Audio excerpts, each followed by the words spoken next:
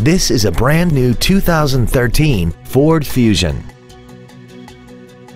Its top features include traction control and stability control systems, hill start assist, 100% commercial-free Sirius satellite radio, aluminum wheels, and a tire pressure monitoring system.